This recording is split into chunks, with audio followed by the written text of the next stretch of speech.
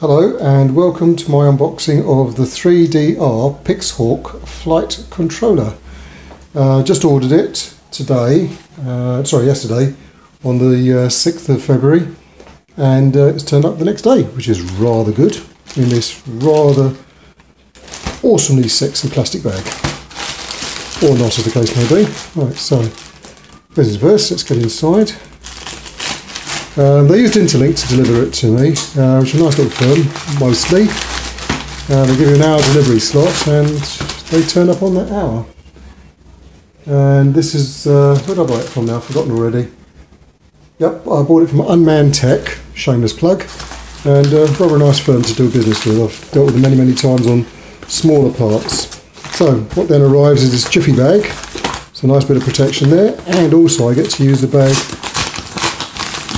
post off stuff to other people because I haven't written all over it. So, what do we have inside? Oh, loads of bits. Lovely, lovely. Right, what have we got? Uh, we've got the quick start guide, which is not in the box for some reason. I would like that to be a bit better protected, but okay. Let's not get too stressy about it. Uh, the box itself containing the Pixhawk. There we go. And we'll open that up in a moment. What else have we got? Uh, now I did order uh, the PPM Sum uh, receiver thing. Um, now my own flight uh, receiver has got uh, PPM in it, uh, but I brought this just in case I use it with another receiver that doesn't have. I can't imagine it didn't only cost it only cost a few bob, so not too bad at all. And who knows, I might be able to use it in other stuff. Um, and I also bought, absolutely essential when you're buying something of this quality and, and caliber, I also bought the uh, GPS kit. So this is 3DR's own, no Chinese clones this time. And uh, what it's got in it is both the GPS and the magnetometer uh, on the same board. Uh, made for the APM 2.6, but of course completely compatible with um, the Pixhawk. And uh, it's a good old 3DR uh, u-blox GPS, which is marvellous. Never had any problem with, uh, the u-blox uh, GPSs. Okay, so what's it say here? Uh, make any RC plane, copter or rover, a full-featured drone, personal drone. Well, absolutely. Okay, so here we go. The grand opening. Ta-da!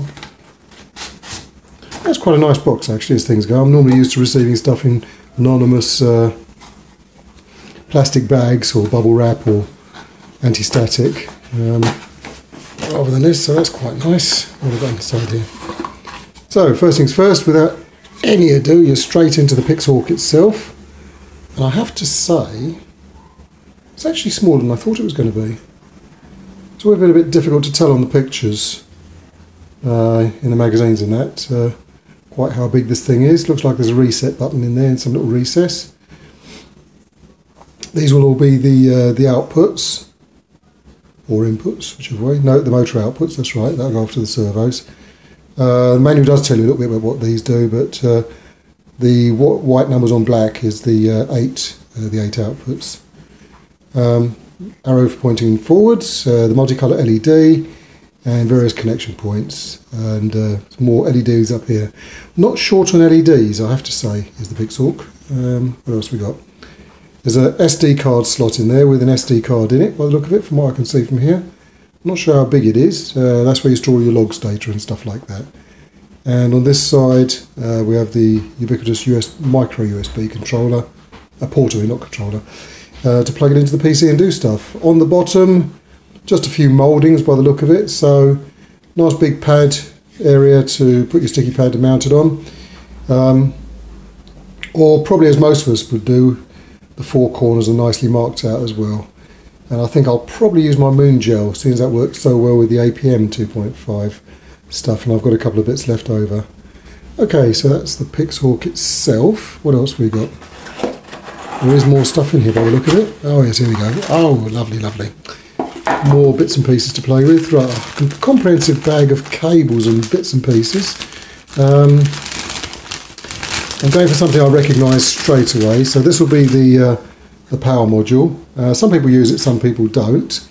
Um, I'm pretty sure with the Pixhawk you don't get that choice. Uh, you're pretty much encouraged to use it. Um, nothing wrong with that really. Uh, I think you can go up to 4S batteries with this. If you want to use a Pixhawk with anything more than 4S battery, at the moment I'm not actually sure what you do. Hmm, interesting question that. I'll have to uh, debate on that. Uh, comes with a buzzer. Uh, now the Pixel itself has got a small buzzer on it, but it got this external buzzer which you can mount somewhere. Made in China. Where else would you make this stuff, eh? Um, and it's all nicely made up with the connector. And everything connects to Pixel using these little Molex connectors. A small bundle of other cables that do various things. Uh, I'll have to work these out.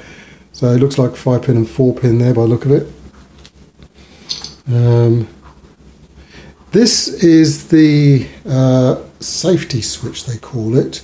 So and there's a little LED inside of it as well. So when before your arm, when you first put the power on, uh, you press and hold that button until it makes a beep at you, and then you can arm using the traditional method of arming with the sticks. Uh, some more connectors there. What else we got? Ah, USB cable. Very nice. Can never have too many of these. Um, I seem to go through these all the time. I'm sure I don't eat them. Maybe the cat does or something. I have no idea.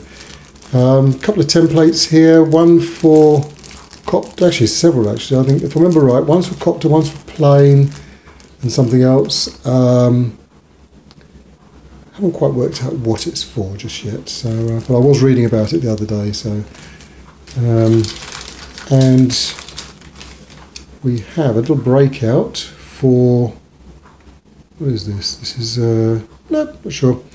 Uh, but there you go, a little breakout. Uh, I guess this is for the I2C or something like that. I am probably getting terminology all wrong.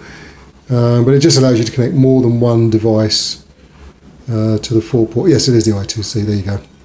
So if you've got several I2C devices, you can wire them all up in parallel.